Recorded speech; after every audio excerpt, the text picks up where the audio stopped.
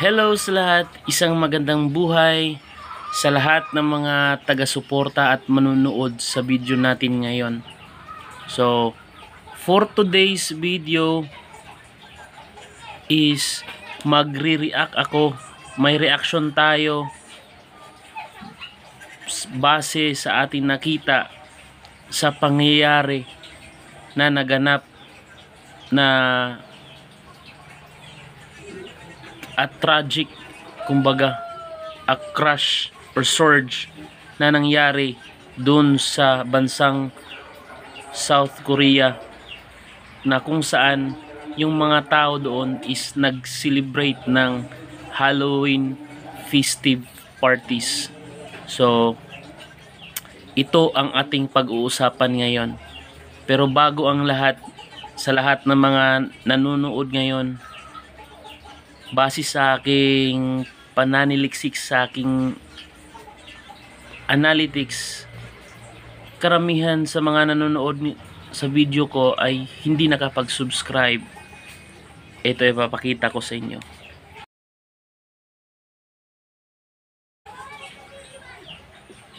So ngayon po, humingi po ako ng maski kunting suporta.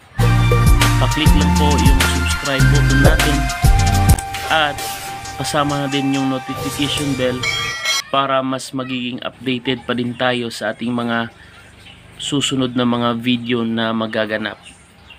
So, tayo na at mag-proceed na tayo sa ating topic. So ang tanong natin ngayon, mga kabuhay sa lahat ng mga nanonood dyan, is ano ba talaga ang nangyari sa dakong South Korea? So may ipapakita na ako na video clips ngayon. So panoorin natin to.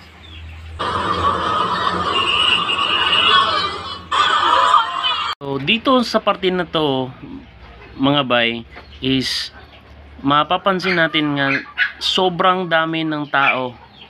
Ang tawag sa lugar nito sa Seoul, Korea is yung in town. So, in town yung tawag sa lugar na yan. So, doon makikita natin yung sobrang dami ng tao. So, ano ba talaga yung nangyari? Tao na umakyat na at base sa reaction ko dito, sa nakita ko sa video na to is parang nag nagpapanik yung mga tao so grabe yung current ng tao. Sa sobrang dami ng tao na to umabot ito ng halos 100,000 at ngayon mga bay yung tanong natin kanina sasagutin na natin. Ano ba talaga yung naging dahilan? Yung main cause main cause ng aksidente na to. Bakit ito nangyari? At bakit sobrang dami ng tao dito sa lugar na to ito ang ating pag-uusapan ngayon uh, kunting clarification lang tayo mga bay sa lahat ng mga nanood ngayon ang aksidenteng ito ay madi-describe bilang isang crash crowd at hindi ito stampede.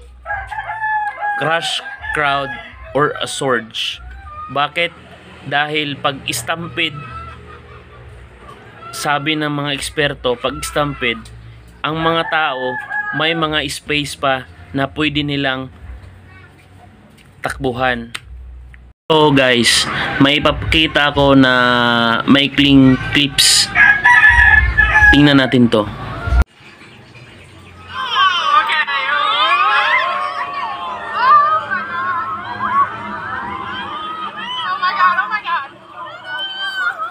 So ito mga bay, ayon sa nakita, grabe sobrang sikip talaga doon sa mismong lugar na napangyarihan. Kaya yun ang nangyari. At punta tayo doon sa pangalawang tanong natin. Bakit sobrang dami ng tao? Bakit dumagsa yung tao sa lugar na, na yon? So, patuloy tayo sa panonood.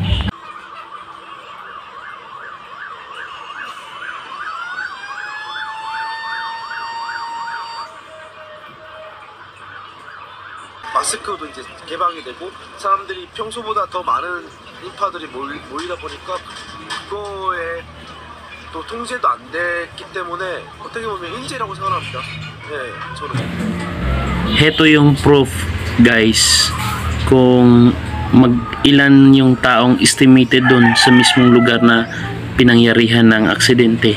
Clips natin nakita kanina, ayon sa mungkahi ng isang office worker mismo doon sa naka-akto sa mismong aksidente, sabi niya is biglang lumuwag yung restriction ng pagsusuot ng mask. Kaya mas dumagsa yung dami ng tao doon.